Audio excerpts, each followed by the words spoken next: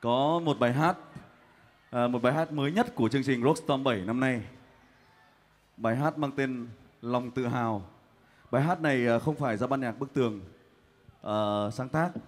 Nhưng ngày hôm nay chúng tôi sẽ chơi ở đây ca khúc này uh, với một tinh thần với một chủ đề uh, của Rockstorm 7 đó là sự kết nối, đó là hào khí, đó là những gì mà tuổi trẻ, đó là những gì mà chúng ta hãy cùng với nhau để uh, gây dựng cho cuộc sống tốt đẹp hơn, mạnh mẽ hơn.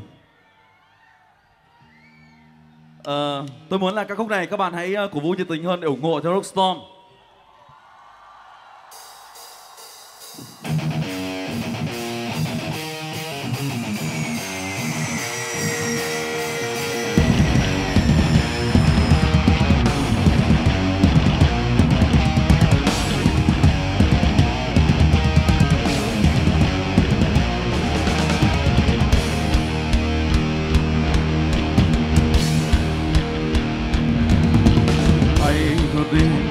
Lửa trong tim tháng ngày bước đi để niềm tin tâm tối ngầm tự hào xin hãy giữ trong tim.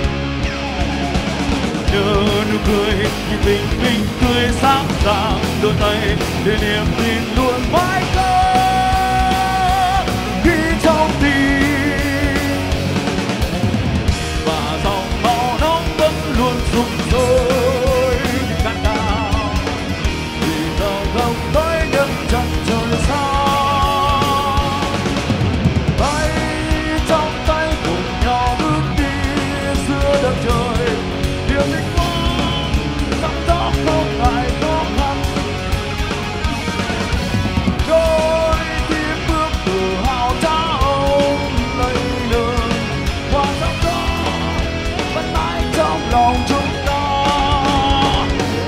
lòng tự hào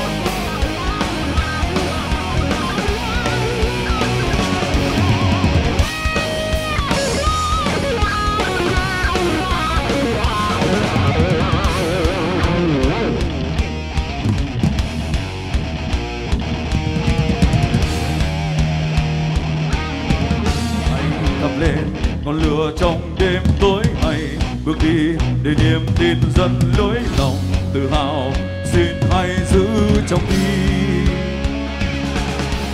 Nhớ nụ cười, nhìn tình mình tươi sáng rạng đôi tay để niềm tin luôn